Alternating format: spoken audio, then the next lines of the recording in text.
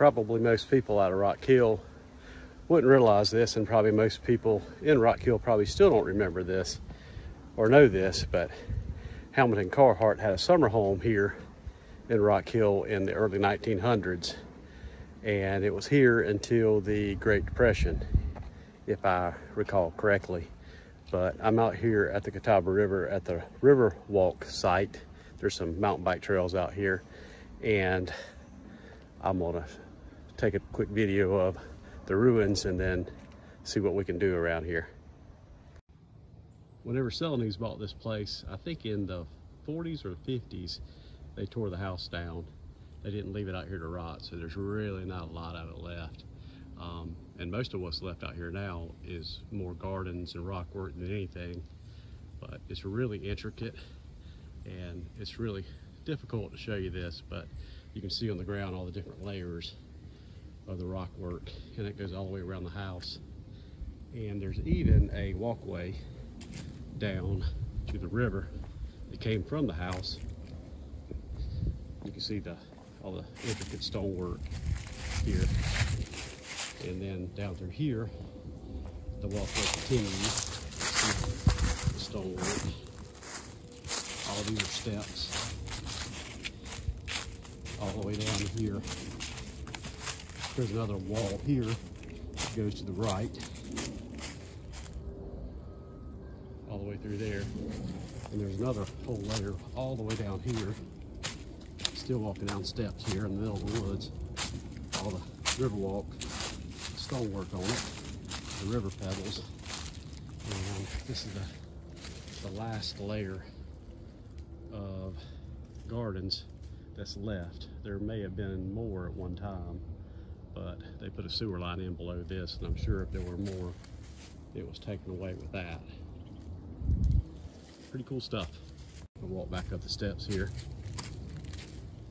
Again, the rock layers here, walking up steps. And again, I am in the middle of the woods. Gonna walk up into the final layer where the house was.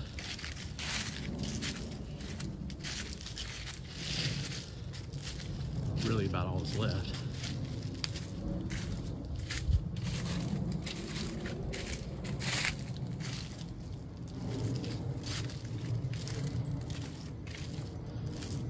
breezeway through here, I would assume.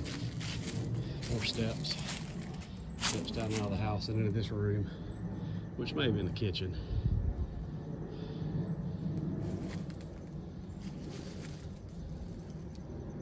And then that was a fireplace. This fell over or been pushed over over there. It's another view of the fireplace. That's the top of it. And there's obviously a basement down here. That stairway down to the basement from that room back there. Check out where the windows were. Pretty cool. There's one, two, three, at least three of those. I don't know how well you can see them. There's the third one there. So again, out here on the porch, I believe, this might have been a porch or it could have been something else. Doors all the rock work, the cool river stone. Can't imagine how many stones are built into this. Again, it was Hamilton Carhartt Summer Home here in Rock Hill, South Carolina. Another stairway right here to go down. Uh, more of the columns that have fell over and more views of the basement. The house, I'm sorry, the chimney, and then the more columns that fell over, and then the columns that are still standing Walk back down the steps. There are at least one, two, three other structures out here. One of them was a guest home that I heard that his son lived in when his son was in town. I think he managed one of the mills in Rock Hill. There's another outbuilding and then probably garage.